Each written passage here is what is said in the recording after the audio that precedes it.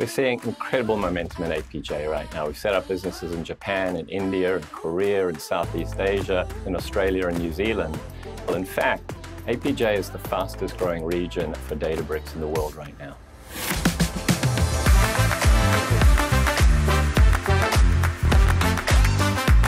APJ has always been the most diversified region, different countries, different culture, and that's the beauty of APJ.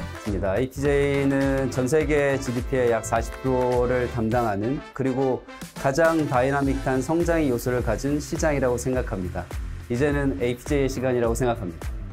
ASEAN is a cluster of 10 countries in Southeast Asia. There are about 600 over million people. They are all using mobile phones, they're generating data as we speak and as we sleep.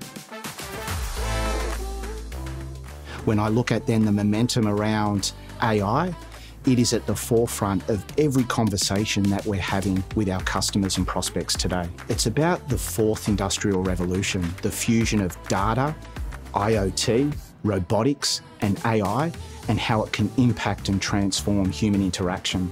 That is the number one thing that excites me. We're creating a new category. And so it's my responsibility to be in the room when the customer has that light bulb moment, when they realize that everything they do in the future can be different with the Lakehouse. その中でやはりカントリーマネージャーとして入社してこのチームを立ち上げていくまたビジネスを立ち上げ立ち上げていくと そういったところにまあ自分が携わりたくて入社した次第です 같은 곳을 바라보고 데이터 브릭스 코리아라는 여행의 첫 페이지를 다 같이 써나가는 것이 너무 설레고 너무 재밌습니다.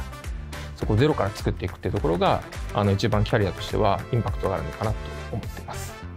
Working in a fast growth startup is quite addictive.